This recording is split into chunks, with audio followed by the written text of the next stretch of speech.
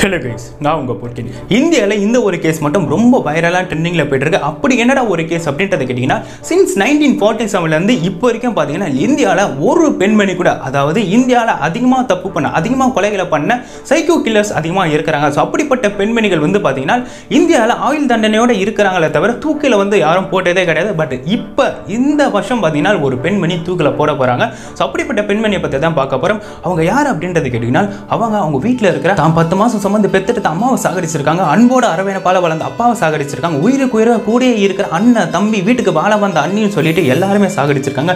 இவங்க மட்டும் இல்லாமல் அவங்க கசின் பதினாறு வயசு சின்ன பொண்ணை சாகடிச்சிருக்காங்க. அண்ட் இது மட்டும் இல்லாமல் அவங்க அண்ணன் அன்னைக்கு பிறந்த பத்து மாதம் குழந்தைய கூட பார்க்காம அவ்வளோ கொடூரமாக சாகடிச்சிருக்காங்க. எல்லாம் எதுக்காகனா தான் காதலுக்காக.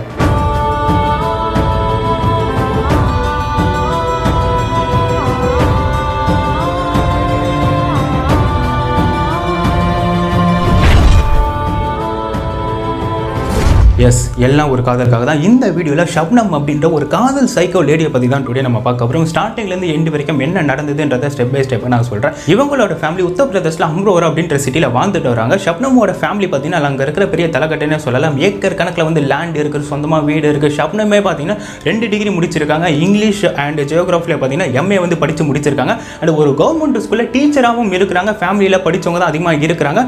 ஸோ ஷப்னம்க்கு என்ன நடந்தது? எதுக்காக இந்த கொலையை பண்ணாங்க? அப்படின்ற ஒரு தேடல் வந்து நம்ம தேடி ஆகணும். ஸோ ஷப்னம் எதுக்காக இந்த கொலையை பண்ண ஆரம்பிக்கிறாங்கன்னா அவங்க ஏரியாவில் இருக்கிற சலீம் அப்படின்ற ஒரு பையனை சின்ன வயசுலேருந்து காதலிச்சிருக்கிறாங்க. பட் சலீம் படித்ததோ ஆறாம் வகுப்பு தான். சிக்ஸ்த்து படித்த சலீம் வந்து அவங்க வீட்டில் ஒத்துக்கல. அதாவது ஷப்னம் வீட்டில் வந்து ஒத்துக்கல. அவன் சிக்ஸ்த்து தான் படிச்சிருக்கான். ஸோ நீங்கள் காதல் பண்ணுறது எங்களுக்கு பிடிக்கலன்னு சொல்லிட்டு ஷப்னம் வந்து கொஞ்சம் கட்டாயத்தில் வந்து உள்ளடிக்கிறாங்க தட் மீன்ஸ் பிரைன் வாஷ் பண்ணியிருக்கிறாங்க. நீ வந்து அவனை லவ் பண்ணக்கூடாது. நாங்கள் பார்த்து வைக்கிற பையனை தான் கல்யாணம் பண்ணிக்கணும்னு சொல்லிட்டு. பட் சலீமும் ஷப்னமும் சேர்ந்து ஒரு பிளான் போடுறாங்க. ஸோ நம்ம காதலுக்கு தடையாக இருக்கிற உங்கள் ஃபேமிலியாலே கொண்டுட்டா அப்போ தான் ஷப்னம்க்கும் சலிக்கும் ஒரு ஐடியா வருது. எங்கள் வீட்டில் இருக்கிற பர்சன் எல்லாமே நம்ம தூக்க மாத்திரை போட்டு தூங்க வச்சிடலாம். தூக்க மாத்திரை போட்டு தூங்க வச்ச பிறகு அவங்கள நம்ம சாகடிச்சிடலாம் அப்படின்ற ஒரு பிளானை போகிறாங்க ஆனால் இந்த பிளானில் அவங்க பண்ணுற மிகப்பெரிய ஒரு தப்பு என்னன்னா தன்னோட ஒட்டுமொத்த ஃபேமிலியையும் கொலை பண்ணணும்னு நினைக்கிறாங்க.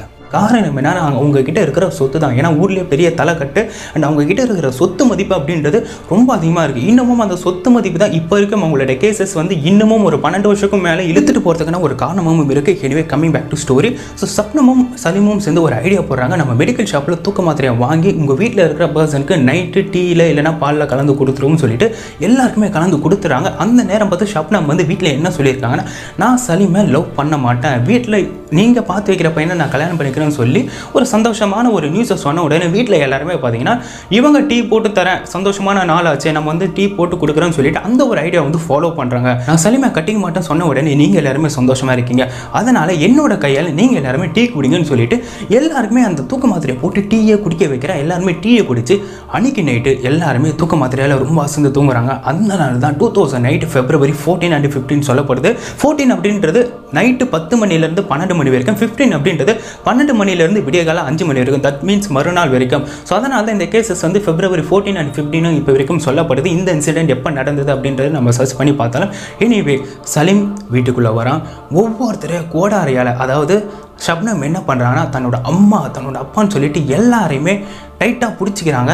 சலீம் என்ன பண்ணுறான்னா எல்லாருமே கோடாரி எடுத்து மண்டையிலே ஓங்கி அடிக்கிறான். அண்ட் அது மட்டும் இல்லாமல் வயிற்றுலேயும் அந்த கோடாரி பேக் வேடை வச்சு பயங்கரமாக வயிற்றுலேயும் அடிக்கிறான். அண்ட் இது மூலயமா எல்லாரும் இறந்தும் போகிறாங்க அண்ட் ஃபைனலி அந்த குழந்தை பத்து மாதம் குழந்தை என்ன ஆச்சுன்னு கேட்டிங்கன்னா சலீம் சொல்கிறான் இந்த குழந்தைய மட்டும் விட்டுடலாம் நம்மளே வளர்த்துக்கலாம்னு சொல்லும்போது இல்லை. இந்த குழந்தையும் நம்ம சாகடிச்சு ஆகணும். இந்த சொத்துக்கு வாரிசு என்னோட குழந்தை மட்டும்தான் இருக்கணும். யாரோட குழந்தையும் இருக்கக்கூடாதுன்னு சொல்லிட்டு தான் அண்ணனோட குழந்தைய கையாலே நெரிச்சு சாகடிக்கிறார். எல்லாருமே சாகடிச்ச பிறகு ஷப்னு சலீம் கிட்ட சொல்கிறான் உன் கையில் இருக்கிற கோடாரி அண்ட் நீ போட்டுட்டு இருக்க ட்ரெஸ்ஸை எங்கேயாச்சும் போட்டுடுன்னு சொல்லிட்டு அண்ட் இவர் என்ன பண்ணுறாருன்னா குளத்தில் தூக்கி போட்டுடுறாரு. அவரோட போட்டுட்டு இருக்க ட்ரெஸ்ஸும் கோடாரியும் பார்த்தீங்கன்னா குளத்தில் தூக்கி போட்டுடுறாரு.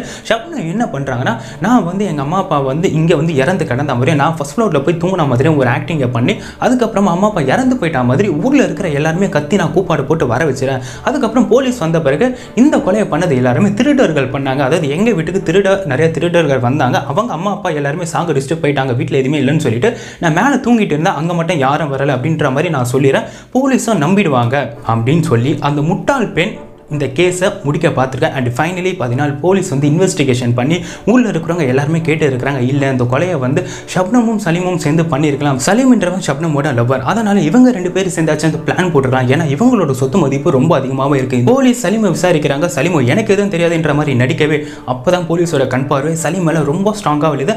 அந்த டைம் தான் கண்டிப்பாக ஒரு கொலை பண்ண அவன் ஏதாச்சும் ஒரு பொருளை வச்சு கொலை பண்ணியிருப்பான். அந்த கொலை பண்ணும்போது ரத்தம் எல்லாமே அவனோட ட்ரெஸ்ஸில் வந்து பட்டிருக்கான் கண்டிப்பாக இந்த ப்ரூஃபில் ஏதாச்சும் ஒன்று கிடைச்சா போதும். நம்ம இவன் அரெஸ்ட் பண்ணிடலாம்னு சொல்லிட்டு அப்போ தான் போலீஸ் வந்து தேட ஆரம்பிக்கிறாங்க. கண்டிப்பாக ஏதாச்சும் ஒரு பொருள் கிடைக்கும் ஏதாச்சும் ஒரு துப்பு கிடைக்கும்னு சொல்லிட்டு அந்த ஊரில் தேட ஆரம்பிக்கும் போது முதல்ல எடுத்த உடனே சலீமோட ட்ரெஸ் மாட்டுது. அந்த ட்ரெஸ் மாட்டின பிறகு சலீமை விசாரிக்க ஆரம்பிக்கிறாங்க. அப்போ தான் சலீம் சொல்கிறான் ஆமாம் இந்த கொலையை நாங்கள் ரெண்டு பேரும் சேர்ந்து தான் பண்ணோம் அப்படின்னு சொல்லும் போது உடனே ஷப்னம்மை விசாரிக்கிறாங்க. ஷப்னம்மை விசாரிச்சா என்ன சொல்கிறானா இந்த கொலையை பண்ணது நாங்கள் ரெண்டு பேரும் கிடையாது. இது பண்ணது சலீம் மட்டும் தான் சலீம் என்ன பண்ணனா எங்கள் வீட்டில் எங்களோட லவ் ஒத்துக்காதனால அதனால் என்ன மட்டும் விட்டுட்டு அவங்க எல்லாருமே சாகடிச்சுட்டு போயிட்டான் அப்படின்னு சொல்லிட்டு ஷப்னம் வந்து சலீம் மேலே பழியை தூக்கி போட்டுட்டாங்க. அண்ட் சலீம் வந்து ஃபைனலி சொல்கிறாரு இங்கே இருக்கிற ஒவ்வொரு கொலையுமே பண்ண சொல்லுது ஷப்னம் தான். தான் அம்மா அப்பா கூட பிறந்தவங்க யாருமே நீ விட்டு வைக்காதன்னு சொல்லிட்டு இந்த சொத்துக்கு ஆசைப்பட்டு நம்ம சந்தோஷமாக வாழலாம்னு சொல்லிட்டு இவங்களை கொலை பண்ண சொன்னது ஷப்னம் தான். போலீஸ்க்கு ரொம்ப ஷாக்கிங்காக இருக்கும் ஒரு பொண்ணு எப்படி தான் அம்மா அப்பா அண்ணா தம்பின்னு சொல்லிட்டு எல்லாருமே சாகடிச்சிருவா? அண்ட் பத்து மாதம் குழந்தைங்க கூட பார்க்காம சாகடிச்சிருக்காளே சொல்லிட்டு உடனே ஷப்னமையும் சலீமும் மர்டர் நடந்தால் ரெண்டு மாசத்துல அரெஸ்ட் பண்றாங்க. அரெஸ்ட் பண்ண பிறகு வாய்தா மேல வாய்தா வந்து இத்தனை வருஷமா போயிட்டு இருக்க காரணம் என்ன அப்படின்றத கேட்டிங்கன்னா ஷப்னம் வந்து அரெஸ்ட் பண்ண பிறகு அவளை வந்து டெஸ்ட் பண்ணுறாங்க அவள் வந்து எப்படி இருக்கா அப்படின்றத மெடிக்கல் டெஸ்ட் பண்ணும்போது ஷப்னம் வந்து ஏழு வாரம் வந்து கர்ப்பமாக இருந்திருக்கா? ஏழு வாரம் கர்ப்பமாக இருந்திருக்கா? அதனாலே மொத்து பேருக்கு இன்னொரு பக்கம் பார்த்தீங்கன்னா அவகிட்ட இருக்கிற சொத்து அந்த சொத்தை வச்சு அட்வொகேட்டை வச்சு பார்த்தீங்கன்னா கேஸ் வந்து வாய்தா மேலே வாய்தாவாக போட்டு இருக்கிற சரியான ப்ரூஃப் கிடைக்கல. இன்னமும் இந்த கொலையை நாங்கள் பண்ணலை அப்படின்ற மாதிரி நான் தான் நிரபராதி நிரபராதின்னு சொல்லிட்டு சலீம் மேலே ஒரு பக்கம் பழிய போட ஆரம்பிக்கிறா. சலீம் தான் எங்கள் வீட்டில் திருட வந்தான். அவன் தான் எல்லாரையும் சாகடிச்சான். ஏன்னா ஷப்னம் சொன்னது என்னதான் முதல்ல வந்து திருடர்கள் வந்தாங்க. நான் வந்து மேலே நல்லா தூங்கிட்டு இருந்தேன் ஸோ அவங்க வந்து சாகடிச்சிருக்கலாம் அப்படின்னு சொன்னால் ஆனால் ரெண்டாவது என்ன சொல்ல ஆரம்பிச்சேன்னா இல்லை இந்த கொலை எல்லாமே சலீம் மட்டும் தான் பண்ண அப்படின்னு சொன்ன உடனே ஷப்னமை போலீஸ் நம்பவே இல்லை. ஸோ உடனே என்ன பண்ணானா சலீம் அவன் பக்கம் வந்து அட்வொகேட் அவன் வச்சு என்ன பண்ணானா இது வந்து ஷப்னமும் நானும் சேர்ந்து தான் பண்ணோம் அப்படின்றத வாய்தா மேலே வாய்தா வந்து ரெண்டு பேத்துக்கும் பார்த்தீங்கன்னா கேஸ் வந்து ரொம்ப அதிகமாக போயிருக்கு. இதில் ஒரு பார்த்தீங்களா என்னதான் லவ் பண்ணியிருந்தாலும் என்னதான் அவங்களுக்குன்னு ஒரு குழந்தை பிறக்க போகுது அப்படின்ற ஒரு விஷயம் இருந்தாலும் ரெண்டு பேருமே தான் நிரபராதே ஆகணும்ன்றதுக்காக முதல்ல ஷப்னம் என்ன பண்ணியிருக்காங்கன்னா சலீம் மேலே பழியை தூக்கி போட்டிருக்கா. ஃபைனலி சலீம் என்ன பண்ணியிருக்காங்கன்னா உண்மையை ஒத்துக்கணும்ன்றதுக்காக நாங்கள் ரெண்டு பேருமா தான் சேர்ந்து பண்ணோம்னு சொல்லிட்டு போலீஸ் கிட்ட எல்லா உண்மையும் சொல்லியிருக்கிறாரு. அதே ரெண்டாயிரத்தி எட்டு டிசம்பர் மாதம் பார்த்தீங்கன்னா ஷப்னம்க்கு ஒரு குழந்தை பிறகுதான் அந்த குழந்தைக்கு தாஜ் அப்படின்ற ஒரு நேமை வைக்கிறாங்க. சலீமும் ஷப்னம் இவங்களோட குழந்தை தான். அண்ட் இந்த குழந்தை பார்த்தீங்கன்னா ஆறு வயசு வரைக்கும் ஷப்னம் கூடவே தான் வளருது. அதுக்கப்புறம் ஆறு வயசுக்கு அப்புறம் ஷப்னம் கூட வளரக்கூடாதுன்றதுக்காக அந்த குழந்தைய வந்து பார்த்தீங்கன்னா ஏதாச்சும் ஃபவுண்டேஷனில் சேர்த்து விட்டலாம் அப்படின்னு நினைக்கும் போது ஷப்னமோட காலேஜில் படித்த ஜூனியர் ஒருத்தர் வந்து இந்த கேஸ் பற்றி விசாரிச்சிருக்கிறார். ஷப்னம் இப்படி பண்ணியிருக்கிறாங்கன்னு தெரிஞ்ச உடனே அவங்களுக்கு குழந்தை இருக்குது அப்படின்றத தெரிஞ்ச உடனே இந்த குழந்தைக்கு ஒரு வயசு வந்த பிறகு கண்டிப்பாக ஷப்னம் கூட வச்சிருக்க மாட்டாங்க. இந்த குழந்தைய நம்ம எடுத்து வளர்த்துக்கலாம் அப்படின்னு நினைக்கும் போது தான் ஆறு வயசு ஆகுது. அந்த டைம் வந்து ஷப்னமோட காலேஜ் ஜூனியர் வந்து ஷப்னமோட மகன் ஆனால் தாஜை வந்து எடுத்து வளர்த்துக்கிறான்னு சொல்கிறாரு அதுக்கான காரணம் என்னன்றதை கேட்டிங்கன்னா ஷப்னம் வந்து காலேஜ் படிக்கும் போது அந்த ஜூனியர் உஸ்மான் அப்படின்ற பையனுக்கு பார்த்தீங்கன்னா காலேஜ் ஃபீஸை கட்டியிருக்கிறாங்க காலேஜ் ஃபீஸ் கட்டியிருக்கிறாங்க புக்ஸ்லாம் வாங்கி கொடுத்துருக்காங்க அதனால் அந்த நன்றி கடனை நான் மறக்கக்கூடாதுன்றதுக்காக ஷப்னமோட குழந்தைய நானே எடுத்து வளர்த்துக்கிறேன் அப்படின்ற ஒரு நன்றி உணர்வோட அந்த குழந்தை வந்து இப்போ அவர் எடுத்து வளர்த்துருக்கிறாரு. அண்ட் அவருக்கு கல்யாணம் ஆகிடுச்சு. கல்யாணம் ஆனாலும் பரவாயில்லன்னு சொல்லிட்டு அவங்களோட ஒய்ஃபும் பரவாயில்ல. அவங்க என்னதான் அவங்க ஃபேமிலியை சாகடிச்சு இருந்தாலும் அவங்க பண்ண ஒரு நல்லதுக்காக அந்த குழந்தைய நம்ம எடுத்து வளர்க்கலாம். அந்த குழந்தை என்ன தப்பு பண்ணிச்சுன்னு சொல்லிட்டு அவங்க ஒய்ஃபும் ஒத்துக்கிட்டாங்க. எனிவே ஷப்னமோட கேஸ் எதுக்காக ரெண்டாயிரத்தி இருபத்தொன்று வரைக்கும் வந்திருக்குன்னு கேட்டிங்கன்னா அண்ட் இந்த கேஸ் பார்த்தீங்கன்னா டூ தௌசண்ட் நைன்டீனில் அதாவது டூ தௌசண்ட் எயிட்டில் இந்த கேஸ் வந்து பார்த்தீங்கன்னா கையில் எடுக்கிறாங்க. யார் வந்து கொலை பண்ண அப்படின்ற ஒரு கன்ஃபியூஷன் வந்து கேஸ் வந்து வாய்தா மேலே வாய்தாவாக போகுது. அண்ட் டூ தௌசண்ட் நைனில் இவங்க ரெண்டு பேர் தான் கொலை பண்ணியிருப்பாங்க அப்படின்றத கன்ஃபர்மேஷன் பண்ணுறாங்க எப்படின்னா என்னதான் ஒரு பக்கம் ப்ரூஃப் இருந்தாலும் யார் டேரெக்டாக பார்த்துருப்பா அப்படின்ற ஒரு விசாரணை நடத்தும் போதும் தான் இந்த கேஸை பார்த்தது யாருமே கிடையாது. ஏன்னா நடந்தது நடுராத்திரி மறுநாள் ஒரு ஸ்கிரிப்ட் மாதிரி பார்த்தீங்கன்னா ஒரு கதையை கிரியேட் பண்ணிட்டு போயிட்டாங்க. அதனால் ஊர் மக்களுக்கு ஒரு டவுட்டாக தான் இருக்குது அதாவது இன்டைரக்ஷனல் ஐ ப்ரூஃபாக தான் இருக்கே தவிர டைரக்ஷனல் ஐ ப்ரூஃப் யாரும் நேரில் பார்த்தது கிடையாது. பட் இந்த கேஸில் ஒருத்தர் மட்டும் ஆதாரமாக மாறாரு எப்படின்னா சலீம் ஒரு மெடிக்கல் ஷாப்பில் தூக்க மாத்திரை வாங்கினால அந்த மெடிக்கல் ஷாப் ஓனர் வந்து நான் தான் மாத்திரை கொடுத்தா சலீம் தான் வாங்கிட்டு போனான்னு சொன்ன உடனே போலீஸ்க்கு கன்ஃபர்மேஷன் வருது. ஏன்னா போஸ்ட்மார்ட்டம் ரிப்போர்ட்டில் இவங்க எல்லாருமே இந்த டேப்லெட் சாப்பிட்டு இருக்காங்க. ஏன்னா குழந்தை விட்டுருங்க. குழந்தைய வந்து ஒரு துண்டை போட்டு க கழுத்தை வந்து நசுக்கி சாகடிச்சிட்டாங்க. ஸோ அதுக்கான ஆதாரம் கை ப்ரூஃபும் இல்லை. பட் இவங்க ஆறு பேருமே இந்த மாத்திரையை தான் சாப்பிட்டாங்க அப்படின்றதுக்கான ஒரு ஆதாரம் வந்து பார்த்தீங்கன்னா அந்த மெடிக்கல் ஷாப் ஓனராக இருக்கிறாரு. ஸோ அவர் தான் பார்த்தீங்கன்னா ஒரே ஒரு ஒரு ஐ விட்னஸ் மாதிரி எடுத்துக்கிறாங்க. ஏன்னா மீதி எல்லாமே இன்டெரக்ஷனல் விட்னஸாக தான் இருக்குது இவங்க ரெண்டு பேர் தான் கன்ஃபர்மேஷன் பண்ணியிருப்பாங்கன்னு சொல்லிட்டு.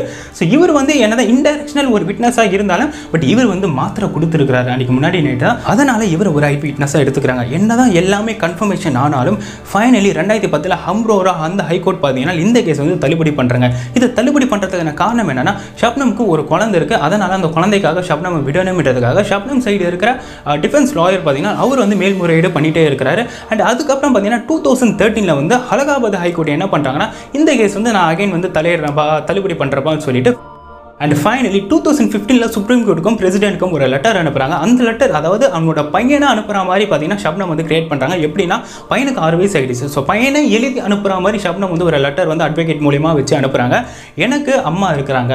என்னோட அம்மா வந்து என்னோட வாழ்க்கையை பார்க்கணும். நான் வெளியே போயிட்டேன்னா என்னோட வாழ்க்கை சீரழிஞ்சிடும். நான் வந்து இந்த உலகத்தில் எப்படி வாழ முடியும் அப்படின்ற மாதிரி ஒரு பையன் ஒரு ஆறு வயசு பையன் பேசுகிற மாதிரி ஒரு லெட்டரை வந்து கிரியேட் பண்ணி சுப்ரீம் கோர்ட்டுக்கும் அண்ட் பிரசிடென்ட்க்கும் அனுப்புகிறாங்க அண்ட் சுப்ரீம் கோர்ட்டாக இருக்கட்டும் பிரசிடென்ட்டாக இருக்கட்டும் ரெண்டு பேருமே நிராகரிச்சிட்டாங்க. இதுக்கப்புறம் தான் பார்த்தீங்கன்னா அவங்களோட காலேஜ் ஜூனியர் வந்து உஸ்மான் அப்படின்றவர் இந்த குழந்தைய நானே எடுத்து வளர்த்துக்கிறேன்னு சொல்லிட்டு ஷப்னம் கிட்ட வந்து வாங்கிட்டு போயிட்டாங்க. பட் ஷப்னம்குள்ளே என்ன இருக்குன்னா நான் எப்படியாச்சும் வெளியே வரணும். நான் அந்த சொத்தை வந்து ஆளணும் அப்படின்ற ஒரு மென்டாலிட்டியில் இந்த கேஸ் வந்து வாய்தா மேலே வாய்தாவாக போடுறாங்க. அதுக்கப்புறம் டூ தௌசண்ட் ஃபிஃப்டீனில் இவங்க ரெண்டு பேருக்கும் வித்தின் டென் டேஸில் நீங்கள் வந்து தூக்கு தண்டனை கொடுத்தே ஆகணும் அப்படின்னு சொல்லிட்டு சுப்ரீம் கோர்ட் சொல்லுது. அண்ட் அகைன் வந்து வாய்தா மேலே வாய்தா போனதுக்கான காரணம் என்னன்னா சலீம் பக்கம் டிஃபென்ஸ் லாயர் பார்த்தீங்கன்னா இந்த கொலையை வந்து அவங்க தான் பண்ணாங்க. ஏன்னா ஷப்னம் வந்து முதல் முதல்ல சலீம் மேலே தான் பழிய போடுவாங்க. அதனால் சலீமோட அட்வொகேட் என்ன சொல்லிட்டானா நீ காதலிச்ச ஒரு பெண் உன் கூட ஒன்றா இருந்த ஒரு பெண் அந்த பெண் உன் மேலே பழிய போடும்போது நீ அந்த பெண் மேலே பழிய போடுன்னு சொல்லிட்டு இவரும் பார்த்தீங்கன்னா ரெண்டு பேரும் சேர்ந்து கொலை பண்ணும் சொல்ல சலீமே பார்த்தீங்கன்னா போக போக வந்து இது சப்னம் மட்டும் தான் பண்ணா இதில் நான் எப்படி உடந்தையாக முடியும் அப்படின்ற மாதிரி பேச ஆரம்பிச்சிட்டாரு. நான் தான் பண்ணேன் ஆனால் சப்னம் தான் சொன்னேன் அப்படின்னு சொல்லிட்டு ரெண்டு பேரோட டிஃபென்ஸ் லாயருமே அவங்க தான் பண்ணாங்க அவங்க தான் பண்ணேன்னு சொல்லி போய் வாய்தா மேலே வாய்தா போயிட்டு ஃபைனலி பார்த்தீங்கன்னா டூ தௌசண்ட் நைன்டில் கேஸை கன்ஃபார்ம் பண்ணுறாங்க இவங்களுக்கு அடுத்த ஒரு வருஷத்துக்குள்ள இந்திய சட்டத்தின் கீழ்படி இவங்களுக்கு தூக்கு தண்டனை கொடுத்தே ஆகணும் அப்படின்றத கோர்ட் கன்ஃபார்ம் பண்ணுறாங்க அந்த டைம் தான் நமக்கு லாக்டவுன் அப்படின்றத இம்போஸ்ட் ஆச்சு. ஆஃப்டர் லாக்டவுன் இப்போ சுப்ரீம் கோர்ட் என்ன சொல்லியிருக்காங்க இதுக்கப்புறம் வாய்தா மேலே வாய்தாமும் கிடையாது ஆயுள் தண்டனை அப்படின்ற ஒரு விஷயமும் கிடையாது. கொடூரமாக ஏழு கொலையை ரெண்டு பேருமே சேர்ந்து பண்ணியிருக்காங்க. இதில் பெண்மணி அப்படின்ற ஒரு விஷயத்தும் பார்த்தீங்கன்னா நம்ம ஆயுள் தண்டனை அப்படின்றது கொடுக்காம இருக்கவும் கிடையாது.